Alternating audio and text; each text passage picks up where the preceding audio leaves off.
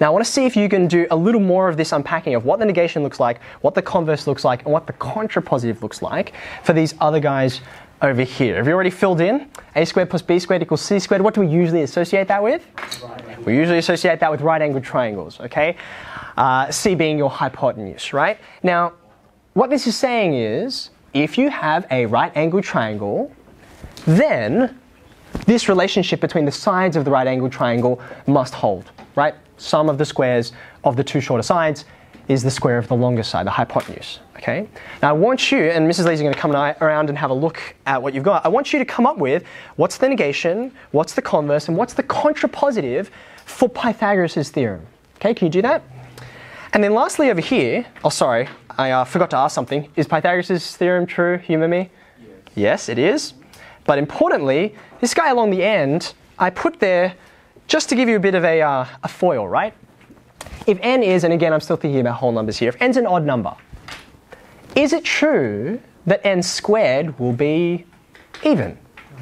Oh, no. Now, clearly not, right? Because you can think about the squares of the odd numbers. Uh, they are 1, 9, 25, 49, and so on. None of those n squareds are even, right? This is a false statement. Oopsie daisy. This is false. But whether it's true or false, as you saw when we did the first example, it has implications for the negation, it has implications for the contrapositive, and so on.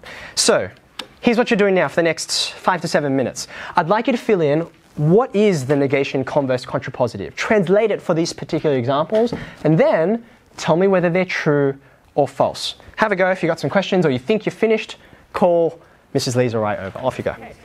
So guys, I sent some. Most of you are pretty much there. I just want to show you my, here's one I prepared earlier. By the way, fun fact.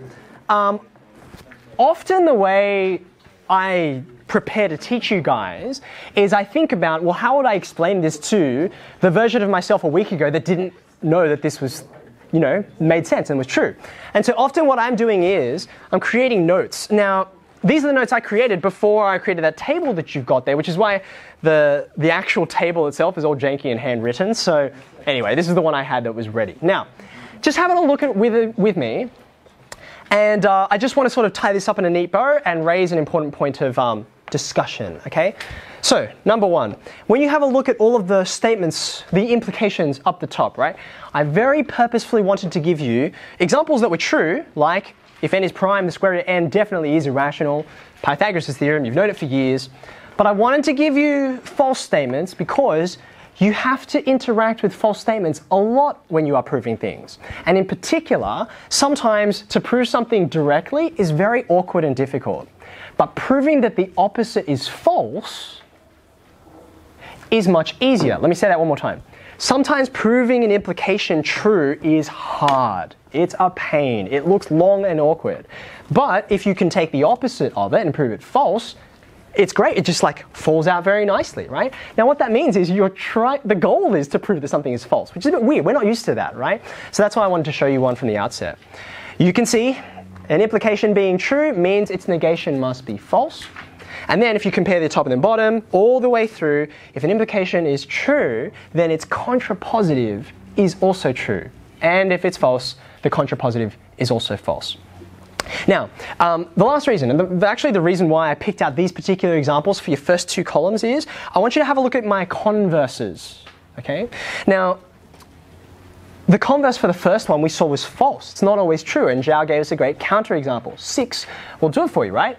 8 will do it for you. In fact, a whole bunch of even numbers will do it for you, okay? But sometimes the converse is true. In fact, one of the first things you learned to do with Pythagoras' theorem was if there's some triangle, you know its lengths, but you don't know if it's right angled, you can prove that it's right angled if the sides form a Pythagorean triad. Okay? So converses can be true, but they aren't always. So great care needs to be taken. Zhao. Yeah, so we thought that particular one was false because A, B, C just by putting them into an equation means that they get negative numbers as well. Oh, sure. Okay. So you're picking up on the fact that I've been very bare in my writing here. When I say A, B, and C, I refer to them as the shorter two and the longer side of a right angled triangle. So while it may be true that abstractly saying a squared plus b squared equals c squared means there's some magic right angled triangle here, right?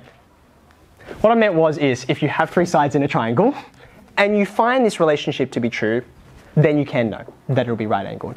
Um, so the converse of Pythagoras' theorem is true, is what I'm trying to say. I'll give you one last fun one just for you to have a think about. On your uh, piece of paper or your book, wherever you um, got there, can you draw for me, please, three parallel lines? Just make sure they're not, um, well, I suppose you could draw them equidistant, but it'll be boring. So just draw three parallel lines, like so. Now, once you've drawn three parallel lines, and they really can be anywhere, and it'd be nice if they're different to the person next to you because then we can prove that this is generally true. I would like you to put a pair of lines that cut across your parallel lines, like so. And we call these transversals, trans, they cut across, right? Now, you can go ahead and actually do this. I'm kind of freehanding this, so I can't do it where, where, I've got this, but you can actually do some measurements. And what you can actually do is, just look up for a second, um, you can measure what we call the intercepts on these transversals. The intercepts are the, the kind of intervals in between the parallel lines. So for example, this one here, actually I'll color them for you so you can see it. Um, this is an intercept here. And then here, let me pick a different color. Here is another intercept over here. You can measure them. You can get a ruler out and you can go ahead and just say, well, I wonder how long that is, or I wonder how long that is, and I'll give you one more just over here.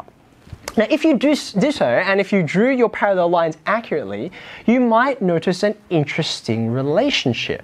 For instance, just to make it um, for you to work out what it is, I'll give you some numbers for free that I'm just going to make up. If this happened to be one centimeter, and this happened to be two, just by chance, it was double. Okay. If you went over and measured the other intercepts, and you see how that one's off on a bit of an angle, right? So it's going to be longer, right? If you found this to be 1.5 centimeters, I can guarantee without measuring that this last one over here will be 3. Now, this is a geometric property which you may have encountered in stage five, but it's uh, it's seldom actually used. Not much sort of you know rides on this, so people once they learn it, even if they did, they rapidly forget about it. Okay, but you can write an if-then statement out of this geometric property, and I would ask you to go and prove it for yourself that you'll see the same kind of ratio business happening. Okay, but when you think about once you've got an if-then statement for it, when you think about the negation, the converse, and the contrapositive, you'll notice something really interesting.